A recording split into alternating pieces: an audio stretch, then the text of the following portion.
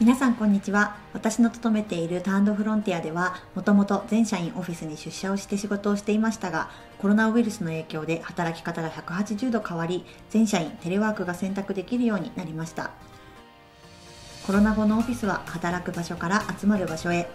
家での作業で行き詰まったり社員とコミュニケーションを取りたい時に気軽に集まれる公民館のような場所を目指しオフィスをリニューアルしました。今回はオフィスの様子を隅々までご紹介していくのでぜひ最後まで見ていただけると嬉しいです。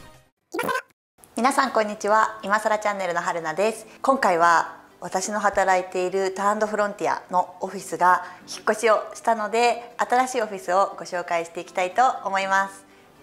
はい。まずこちらがエントランスです。じゃーん。この光る会社のロゴがかっこよくてお気に入りです。でその下に受付台があります。ここにはですねこの受付の女の子がいるんですよ。これなんていうサービスだったかな？はい。でお客様はここに座って待っていただくという感じですねでは早速中に入っていきましょう。こちら執務エリアへの入り口は開けるのがついています。私はアップルウォッチで開けます。はい。じゃーん。こちらが新オフィスです。かっこいい。めちゃめちゃ広くてかっこいいですよね。光がいい感じに入っているのも嬉しいです。ではちょっと一エリアずつ見ていきましょう。まずこの手前のここがまあカフェスペースみたいな感じですね。ここはなんかちょっとした会議をメンバーとしたりとか、まあ、お昼食べる時に使ったりとかこうラフな感じでアイデアを出し合えるようなスペースになっています。してここの真ん中がメインのスペースですね。もう全方位テーブルになっていて集中して仕事したい人はここで仕事をしています。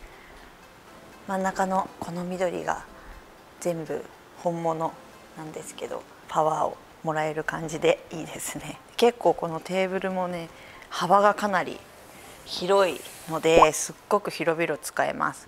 でもちろんコンセントが各席についてるので仕事しやすい環境になってます。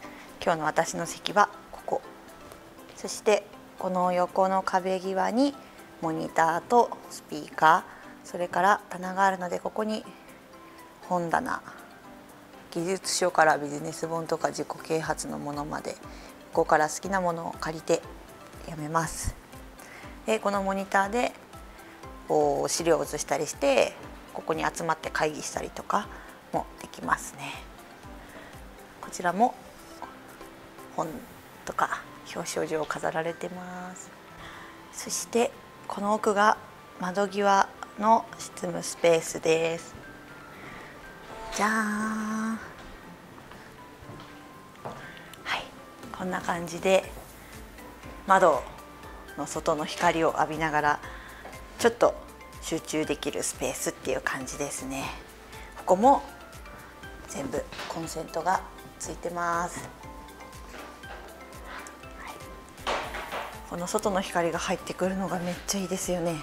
太陽光を浴びたい派の私にとっては嬉しいです。前のスペースだとあまり窓が大きくなかったので嬉しいです。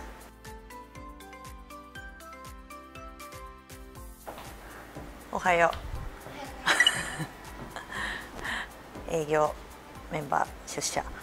そしてこちらがソファースペースです。今ジムのメンバーが仕事してます。すごいめっちゃ広いですよねここ。ここは土足厳禁なので靴を脱いで上がります。かなりの広さがあります。結構お昼寝したりとか打ち合わせしたりとか休憩したりとかあとはここで仕事してるメンバーもちらほらいましたね。意外とリラックスしながら集中できるいいスペースみたいです。そしてこちらに会議室がガラス張りの会議室が2つあります。じゃん。右がモンツァ左がブランズハッチ。サーキットの名前で中は至ってシンプルなんですけど6面積ですね。で壁が全部ホワイトボードになってるのでアイデア出し放題ですね。それからこちらがこだわりのレゴで作ったポルシェです。暖房くんがいる。失礼しました。そしてこっちはちょっと小さめですね。4名の。ここはね結構個室感があるので内緒の話をしたりとかここでまあ集中したい時に仕事してもいいかもしれません。はい。そしてこちらがカフェスペースになってます。ちょっとまだ片付いてなくて汚いところもあるんですけどコピー機とあとはウォーターサーバー。それから電子レンジとかコーヒーメーカーですね。あとオフィスコンビニがここにあってここにあるものはお金払っていつでも飲みたい時に飲める感じです。でゴミ箱。そしてこの後ろがロッカースペースです。誰かいる。おはよう。ここに全員社員分のロッカーが置いてあって自分のものをしまいます。私のロッカーはここ。ちょっと中は汚いので。やめときます。でこの上にモニターがずらっと並んでるので、えーと、使いたい人がここから持っていって使うっていうスタイルになっています。あとはねここもちょっとまだ片付いてないけどコピー機とかいろいろ置いてあります。はい。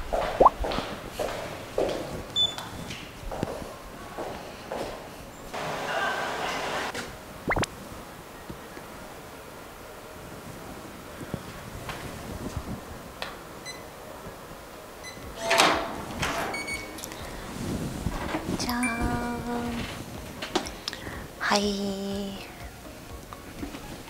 こちらが会議スペースです。じゃじゃーん。ずらーっと。ここは全部で16人座って会議ができるようなスペースですね。ここは、まあ、この真ん中に電源があるのとお客様も来るので w i f i も用意してます。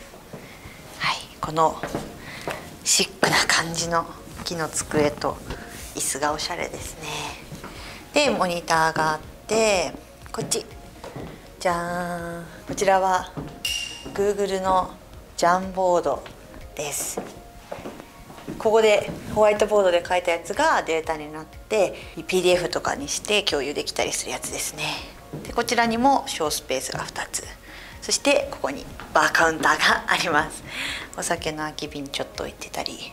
あとはパンフレットとかを並べていますねこんな感じで結構広い感じなので机とかの配置を変えてプロジェクターで資料を前に移せばセミナールームとかにも使えるような部屋です。で普段だったらここが実はガラス扉で仕切れるようになってるんですね。はいこんな感じで全部閉めれば完全に2部屋になって声もあまり聞こえないので2つ商談やミーティングに使うことができます。はいということで今回は私の働いてる会社のオフィスをご紹介しました。デスクワークが多くなるといろんな場所で気分を変えて仕事ができるのが結構嬉しいなと思っています。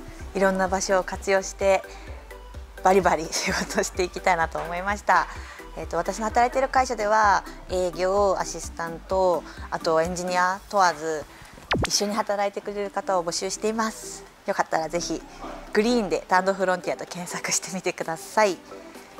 今回も最後まで見ていただいてありがとうございました。また次の動画でお会いしましょう。